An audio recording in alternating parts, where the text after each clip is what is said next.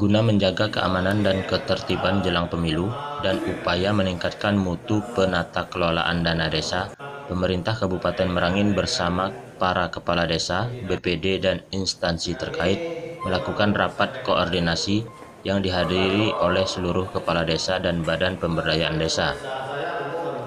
Dalam rapat koordinasi yang diselenggarakan di aula utama kantor bupati tersebut, berbagai permasalahan dibahas, seperti perencanaan dana desa, penggunaan, pemerataan, serta penata kelolaan dana desa dan penunjang pembangunan desa lainnya.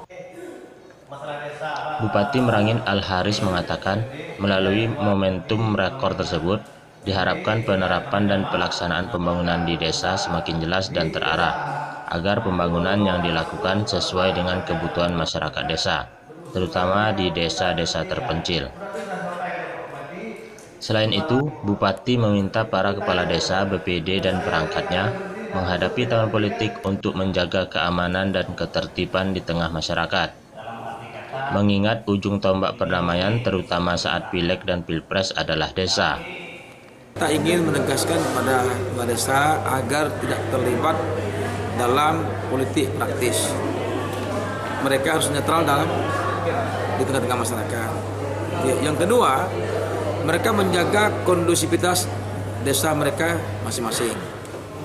Yang ketiga, eh, kita akan meluncurkan dana desa tahap pertama ya kemarin ini. Akhir-akhir ini Pemkap Merangin intent melakukan rapat koordinasi dengan para kepala desa. Ini dilakukan menurut Bupati, selain menyikapi dan memperlurus persoalan di tengah desa, Pemkap juga memberi pembimbingan dan pandangan dalam penata kelolaan dana desa agar tidak salah dalam penggunaan.